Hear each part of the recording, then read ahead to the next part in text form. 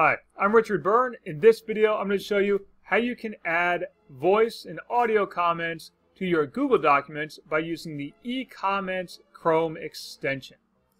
So you can see I have this Google document open, and in the upper right corner, I'm now going to turn on eComments that I have installed. And you'll see when I do this, it brings up a menu of comments that I can insert into the document just like any other commenting system, highlight what you want to comment on, and then choose the comment that you want to insert. Now, one of the small annoyances of e-comments is that as the teacher, when you're using the system, it hides the comments that are over in the margin. So you need to go and turn it off so that you can actually see the comment you've just added for your students. I should point out that your students don't see that menu of comments, that comment bank. They just see on their screens the comment that you've actually added in. Now let's take a look at how to use the voice commenting feature.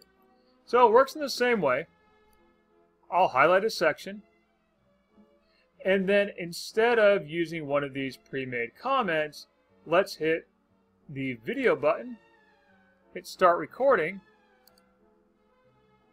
Hey students, it's really important when writing your introduction that you set up for the reader what the essay is all about and what you hope to prove in the essay. And so now I'm going... It's really important when writing your introduction set up for the reader. And so now I'm going to save this to my e-comments menu. You can see I can save it to the Doc or slide, but I want to save it so that I can reuse it in future documents and so that I don't have to record it for every single student. So I'm going to say save to e-comments menu and I'll call it intro tips for students number one and now I'll save that comment. And once it's saved, you'll see over here in my comment bank, I now have intro tips for students number one.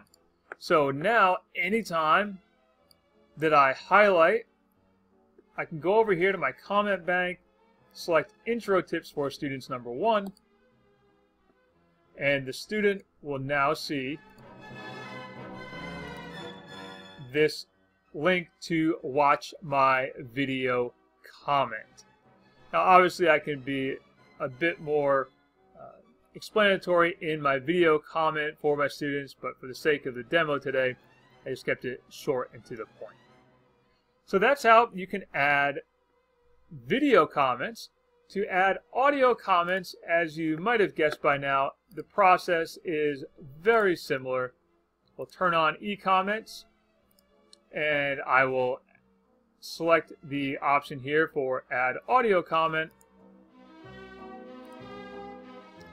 Hey students, it's really important when writing your introductory paragraph to make sure that you let the reader know the points you're trying to prove with your essay.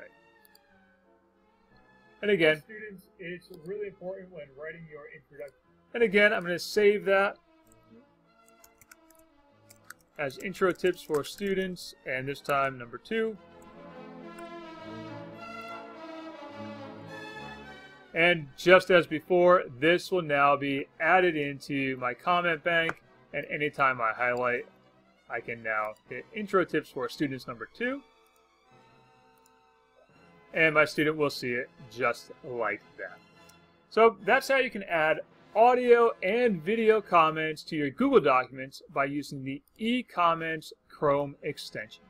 As always, for more tips and tricks like this, please check out freetech4teachers.com and practicaledtech.com.